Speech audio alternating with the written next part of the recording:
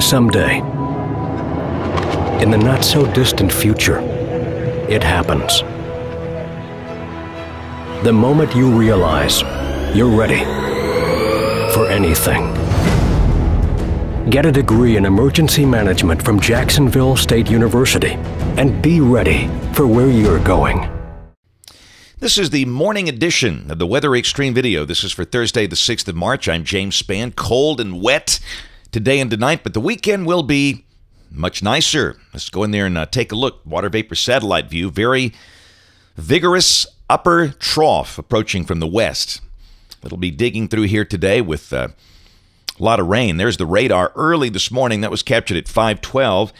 Uh, the rain was widespread along the Interstate 55 corridor in Mississippi. And that'll just be rolling on through here uh, this afternoon and tonight. So get ready for that.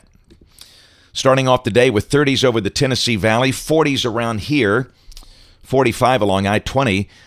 And these numbers won't change a lot for us. We'll just kind of hover in the mid to upper 40s all day today. And later, as the rain begins to fall, the numbers could come down due to dynamic cooling. The air aloft is very cold with that feature.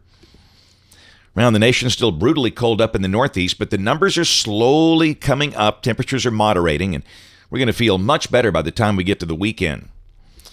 On the watch warning map, we have winter weather advisories in effect for parts of uh, North Carolina, Virginia. They could see some freezing rain issues uh, late tonight, early tomorrow morning. And some scattered problems up on the Canadian border, but generally speaking, things are uh, pretty calm around here. This is the rain for the next five days through Tuesday morning of next week, about one half inch here. Heavier totals east of our state. Let's take a look at modeling the GFS, the 06Z run valid at uh, 12 noon. By the way, starting you know Monday of next week, we'll be showing you the 0Z run because we have the time change this weekend. Uh, we lose an hour of sleep. We get the model data an hour later.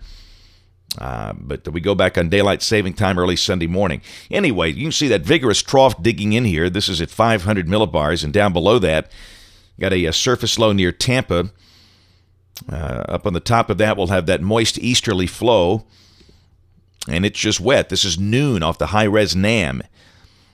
Uh, so periods of rain likely uh, late this morning, this afternoon, into the evening hours. Now, this is 6 o'clock this evening, and really the model wants to kind of move the rain out pretty quickly. It kind of suggests maybe our main window for the rain uh, would be from 10, 11 o'clock this morning until 6, 7 o'clock this evening. It's still got rain up in the northeastern part of the state, but the really big rains over Georgia. 6 o'clock tomorrow morning, some hint. There still could be some lingering rain for Gadsden and Fort Payne and Center and Leesburg up in northeast Alabama, but for the bulk of the state, the rain should be over by then. This is noon tomorrow, coming back off the GFS. A deep surface low is off the coast of North Carolina. And it should be a day where we have clouds during the morning, giving way to sunshine during the afternoon. And the high should be in the low 60s if the sun can break out.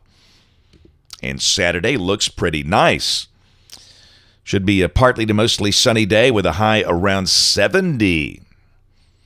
Here, nice and dry. There is a weak front to the north, but really that's just not going to make a whole bunch of difference. That kind of slips through Saturday night in dry fashion. Sunday, the temperatures might drop a little bit. I don't know if you notice it. In fact, the latest GFS has a high of 68 on Sunday. Really don't think you'll notice the difference between 70 and 68. Uh, the sky on Sunday should be uh, sunny, should be a great weekend for whatever you want to do outdoors. Monday, hey, how about mid 70s? That'll feel good. Thickness values coming way up, nice and mild, if not warm for March. Uh, pretty much the same deal on Tuesday. We got that wave down in the western Gulf. And then Wednesday, uh, evidence that will be our next chance of showers. And how much rain, how that next feature lifts out of the southwest United States. A lot of uncertainty here, but there's decent consistency in the idea of that being our next chance of showers and doesn't look like any severe weather problems. And then a week from today, ooh, look at the energy starting to come down from the Great Lakes. That's going to rebuild that eastern trough, and it starts to turn colder uh, Thursday of next week as highs with that look would drop into the 50s with a cool north breeze. What there, if check a few more days later, this is the 19th. That looks like a decent rain event, maybe some thunder. And then at the end of the forecast on the 21st, have a southwest flow aloft. That would be kind of mild and showery. Look at the cold air over the northern states. Uh, don't you know they are ready for spring up there? That's it for the Weather Xtreme video today. We'll have notes in the blog. Next video here by 4 o'clock today.